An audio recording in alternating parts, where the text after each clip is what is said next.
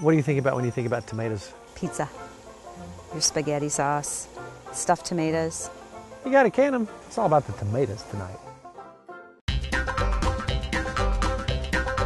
They say you are what you eat, so I don't eat chicken feet.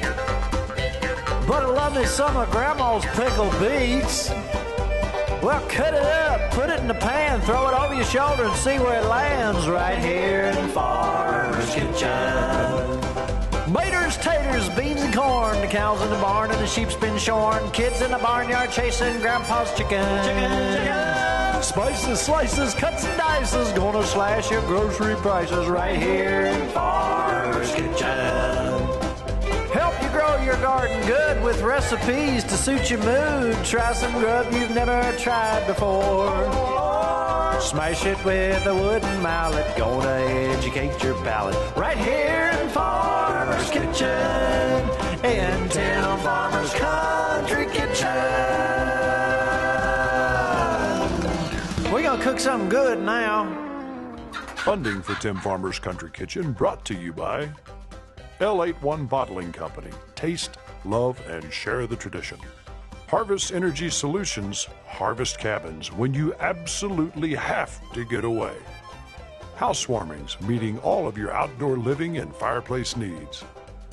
Kentucky Sheep and Goat Development Office, try something different tonight. Rose Farm Supply, family farming and commitment to our customers since 1982. Salt Rocks, the flavor of life. Woods Equipment Company has every tool you need to make working the land as rewarding as hunting it. Chrisman Mill Vineyards, Good Foods Co op, Kentucky Beer Cheese, Weisenberger Mill. Hello and welcome to Tim Farmer's Country Kitchen. Nikki's here with us. Because someone needs to clean up.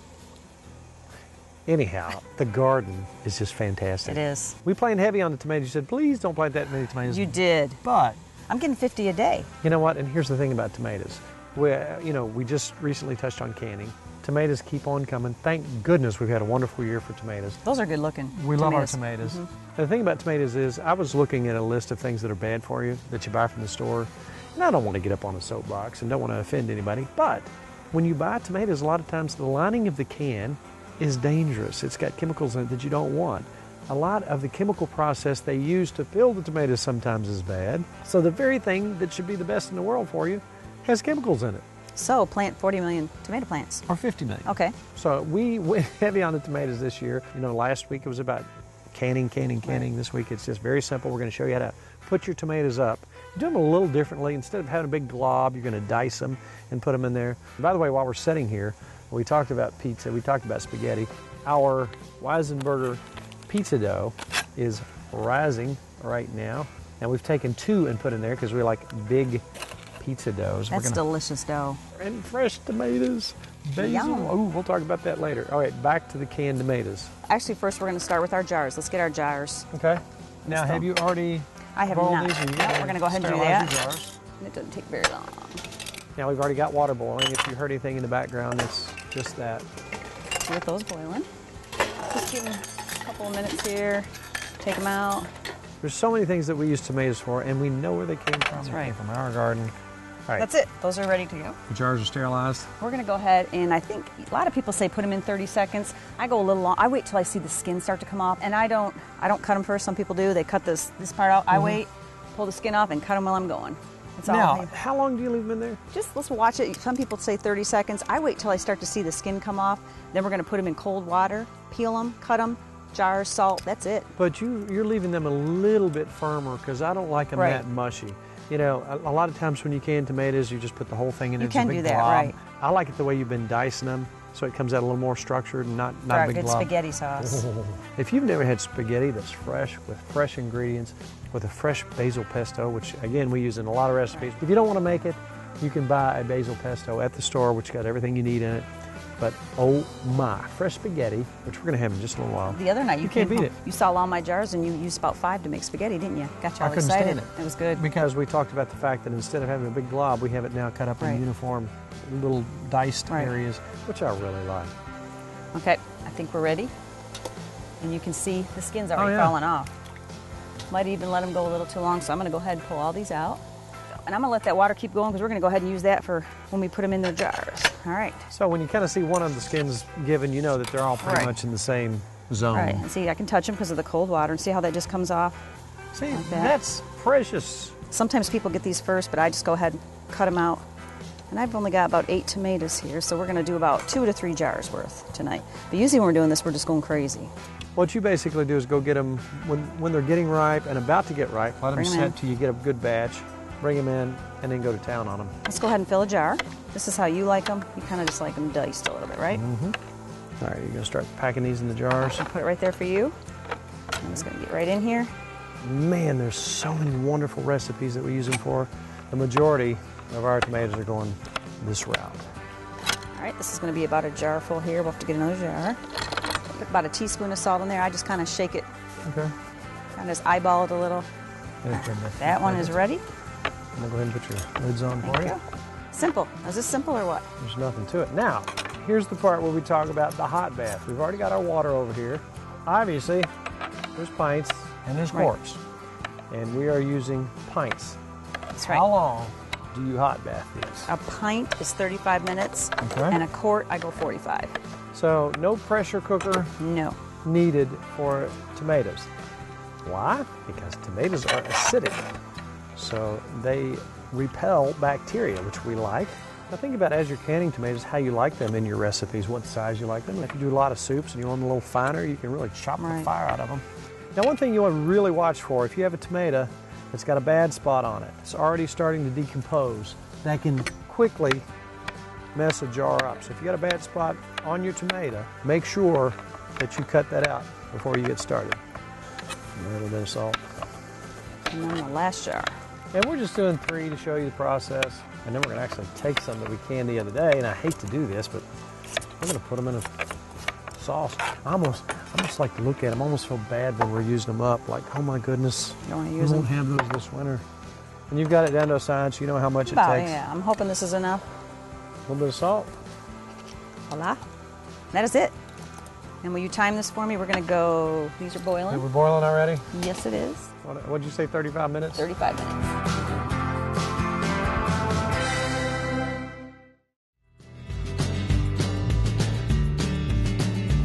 All right, I've got some olive oil going here, and I'm going to saute you some onions for Stuffed tomatoes.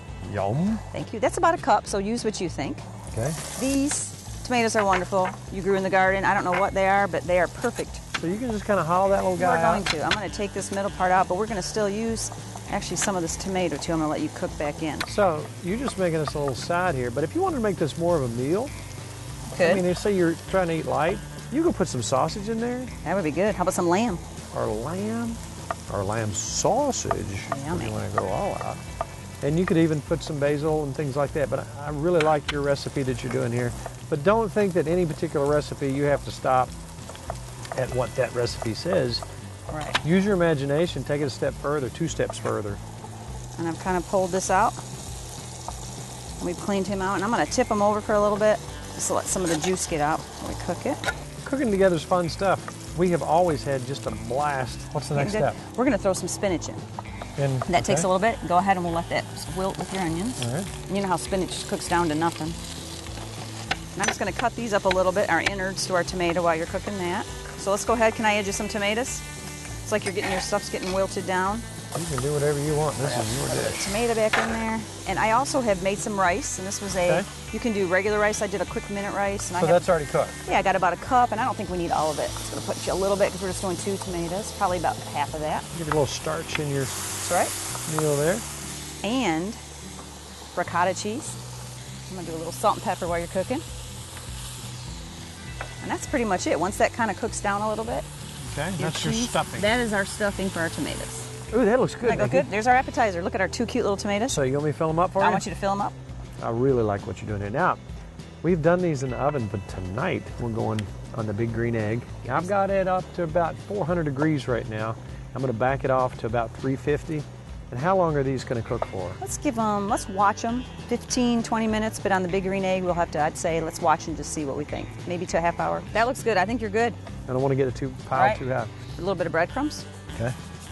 These are Italian. Wow. kind of giving it a That's consistency. a beautiful, beautiful thing you got nice? there. And then if you want to throw some Parmesan, I'm kind of dirty, All right. on top of that, and that is it. We're going to throw that on the egg. What now, do you think? in all seriousness, that's almost a meal in itself. If you're Yeah, trying to eat light, look at that. How's it look? Looks Oh, good already, doesn't it? Mm-hmm. All right, let's right. take it that way.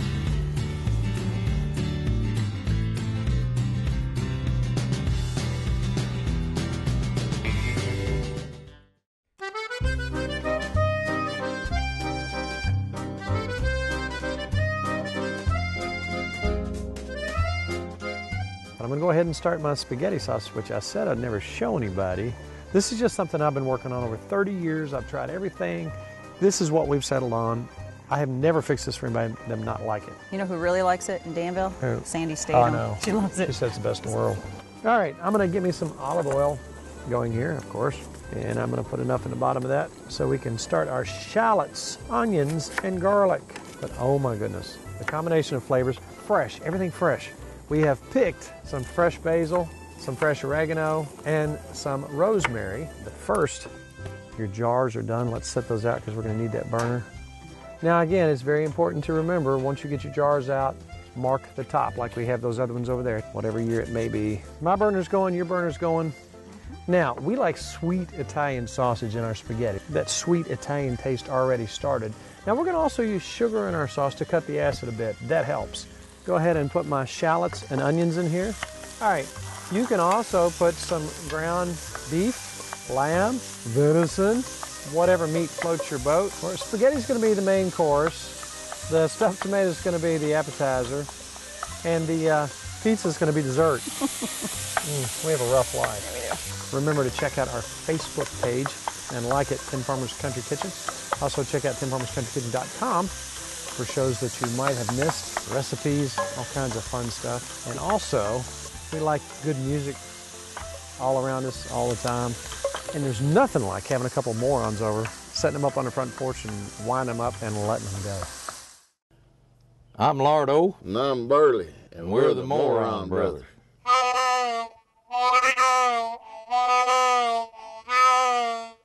Got a frog in my throat.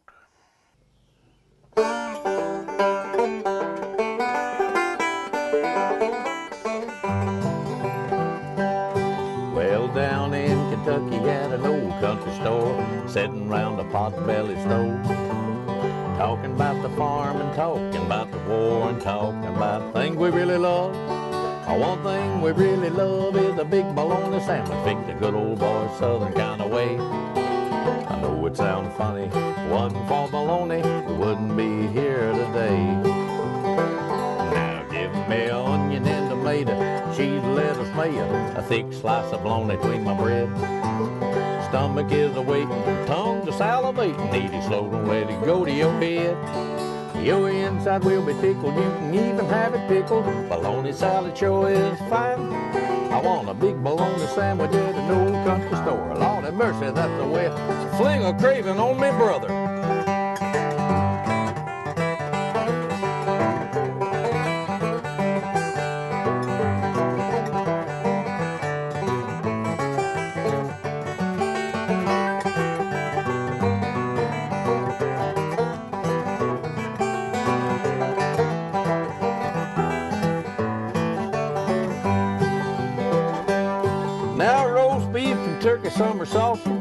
Jerky, pickle loaf, Dixie loaf and ham.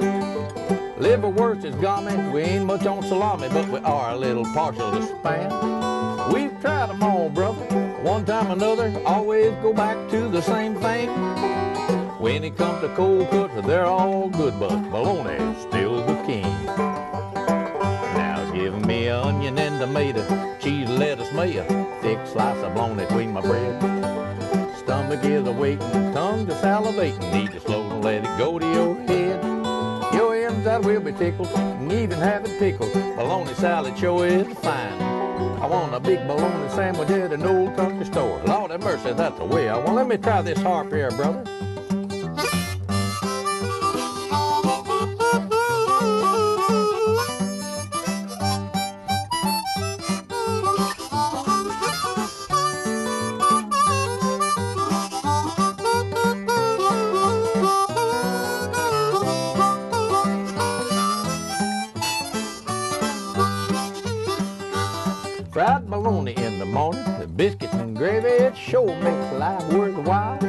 When them garden fresh tomatoes get ripe on the vine, makes me and my bologna smile.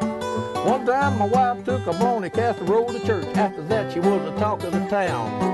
All the women was fighting over her recipe, made the preacher's socks go up and down. Now give me onion and tomato, cheese, lettuce, mayo, thick slice of bologna between my bread. Stomach is a waiting, tongue to salivating, need your soul, let it go to your head. Your inside will be tickled, you can even have it pickled. Bologna salad sure is fine. I want a big bologna sandwich at an old country store. Lord have mercy, that's the way I want mine. A big bologna sandwich at an old country store. Lord have mercy, that's the way I want mine. That's no baloney. You full of baloney. All right, let's, let's, I'm gonna turn the heat down on that. You turn the heat down on that. Let's go grab our appetizers because I'm starving. All right.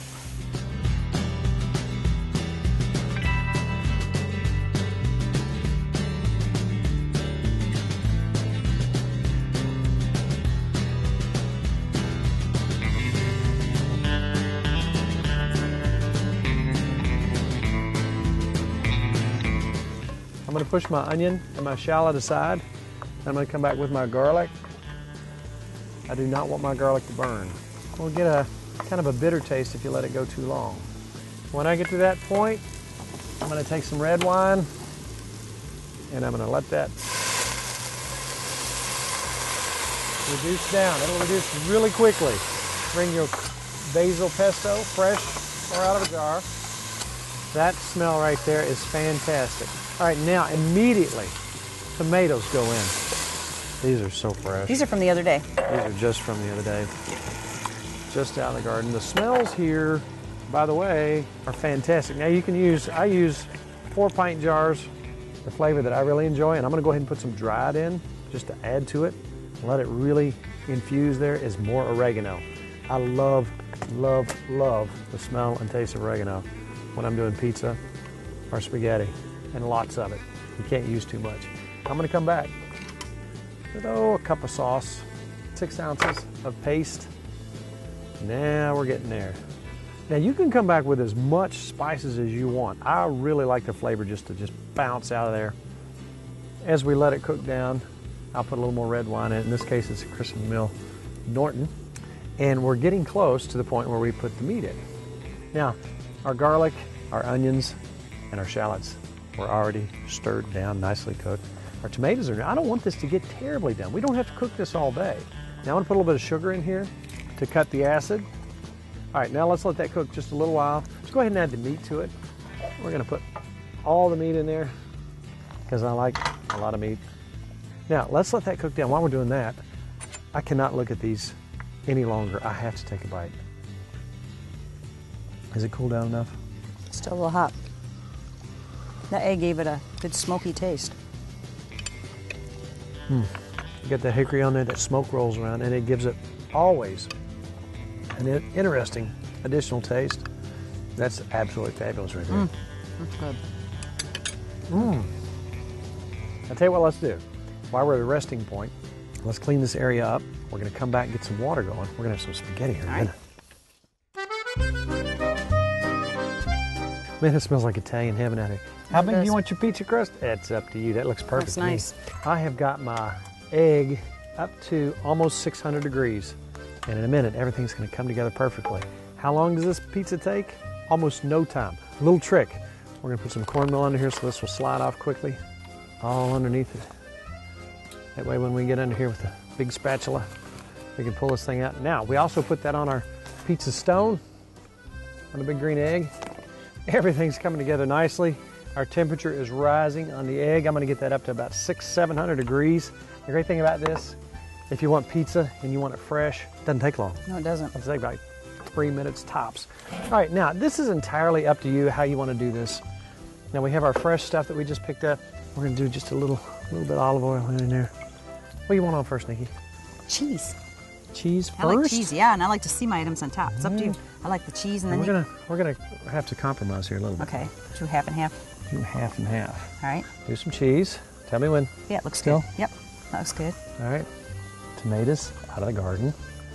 And this is your pizza. So you can do it exactly like you like it. All right, now we're coming back with a little dried Italian seasonings. Got a lot of oregano in there. I like my oregano because I like all those flavors.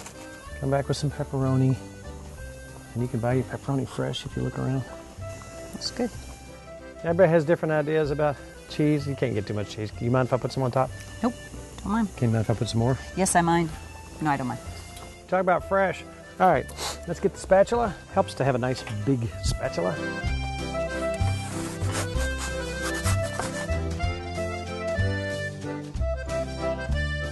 Nice evening, a nice meal. You need a nice Kentucky cocktail.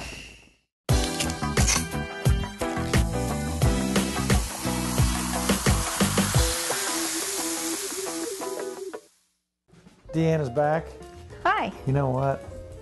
Over the years, we've tried a lot of different things, and the last time you were here, we had a uh, what'd you call it? The moon. The Ale-8 Moon Bomb. Wow, you're gonna have a hard sugar time. You're gonna have a hard time beating that one. That was delicious. Tell us what's next. We are going to make a Kentucky wine spritzer. Two, as a matter of fact. You know what? Some people like red. Some people like white. We're not discriminatory here. And you know what? This is this is what I like about this. It's quick and easy. Very. Got a wonderful taste. Let's see how you do. it. Totally Kentucky proud, which we Absolutely. all like. Um, we're going to take just some ice cubes. So we're going to start with just a white wine. And you talk about Kentucky Proud, Kentucky grapes. Chrisman wine is what we're going to use here. Fantastic. And a good rule of thumb is two parts of wine to one part Ale-8. I can remember that. Sure. And again, you know, I, I love to eyeball. Mm-hmm. So we're going to eyeball it.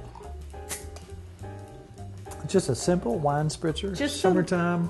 Something if you don't want anything quite as heavy a little earlier in the day. You just mow the yard. You're, you're kicking back. And you're good to go. I thought you were gonna put some raspberries. I am going to put some raspberries in it. Thank you. I That's forgot. the one Yes, ingredient. They're sitting there staring at me. I got. To. They are, and they make it so beautiful. very nice, very light, you. summerish. Now, for those who would prefer a red wine, we can do the same thing. We're going to do the same thing. And for me, I personally like my white wines chilled a little bit. Red, I don't. Mm-hmm. Right. So I am just going to do the same thing. Of course, you could have your Ale-8-One already chilled when you put it in here. A- And I would recommend that. Mm-hmm. And with this one, don't forget this time we're going to put a little squeeze of lemon in it just to freshen it up a little and go around the rim. Look at that. How pretty. Yeah. Kentucky wine with Kentucky grapes. That's right. Kind of looks like a pear, doesn't it? An Ale-8-One. You've made our summer so much better. Thank you so much. Cheers.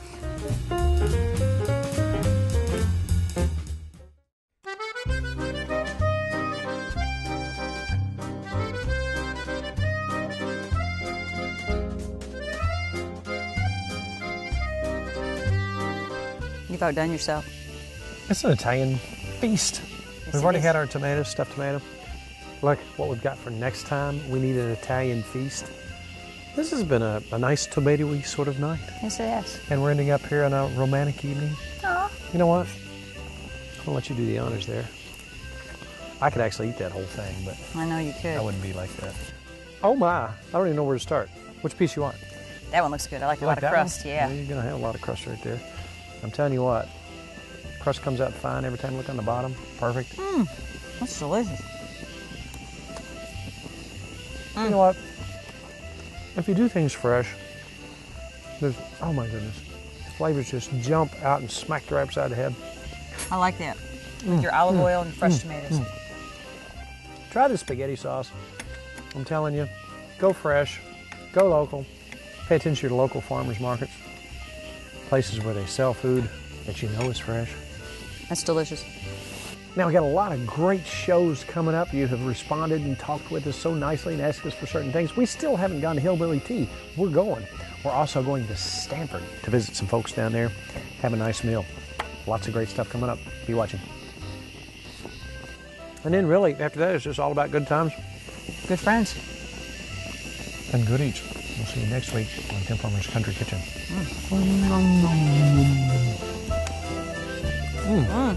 Mm. Yummy. To order a cookbook or DVD of the show, please call 502 319 0487 or email timfarmerck at gmail.com.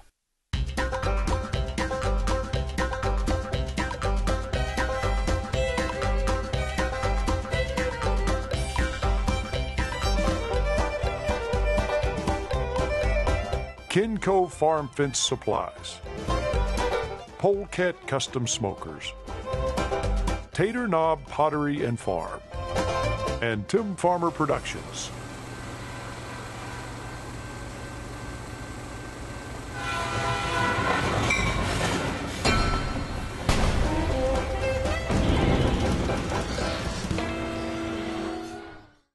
Funding for Tim Farmer's Country Kitchen brought to you by Ale-8-One Bottling Company. Taste, love, and share the tradition. Harvest Energy Solutions, Harvest Cabins, when you absolutely have to get away. Housewarmings, meeting all of your outdoor living and fireplace needs. Kentucky Sheep and Goat Development Office, try something different tonight. Rose Farm Supply, family farming and commitment to our customers since 1982. Salt Rocks, the flavor of life. Woods Equipment Company has every tool you need to make working the land as rewarding as hunting it. Chrisman Mill Vineyards, Good Foods Co op, Kentucky Beer Cheese, Weisenberger Mill,